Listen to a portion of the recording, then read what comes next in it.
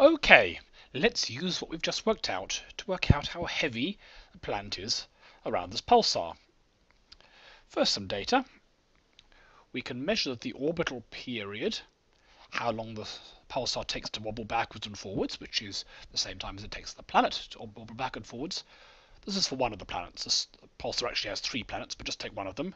Here's 25.262 days plus or minus 0.03. Look at that beautiful precision. You can also measure, in addition to how long it takes to do one oscillation, how big the oscillation is.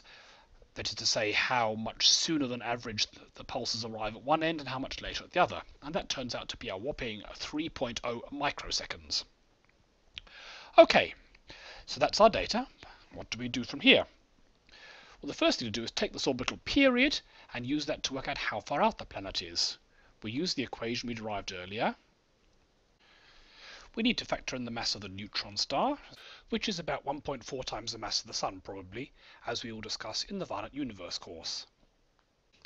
And that will give us a value of 2.8 by 10 to the 10 meters, which is about 0.2 astronomical units. So this planet is 20% as far out as the Sun is, uh, Earth is from the Sun. Okay, so that's got how far out it is. How about its mass? Well, for that we use the fact that mass of the star over the mass of the planet equals the radius of the planet's orbit divided by the radius of the star's orbit. Now we know the radius of the planet's orbit, we've just computed it up here. We know the mass of the star. What we need is the radius of the reflex motion of the star. And we get that from the timing oscillation if the star uh, timing varies by 3 microseconds, we're going to assume the orbit is edge-on here. That means that the radius is the distance light travels in 3 microseconds.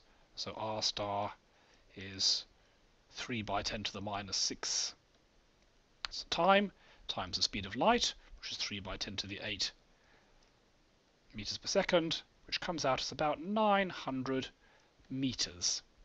So the reflex motion of the stars backwards and forwards and a radius of about 900 meters.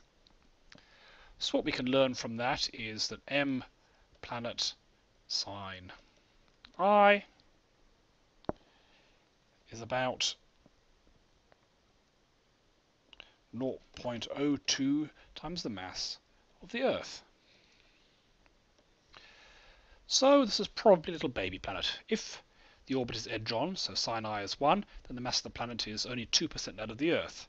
If the sine inclination is larger, so it's nearer to a face-on orbit, it could be heavier than that. It could be all the way up to infinity in principle, but odds are it's a pretty small planet.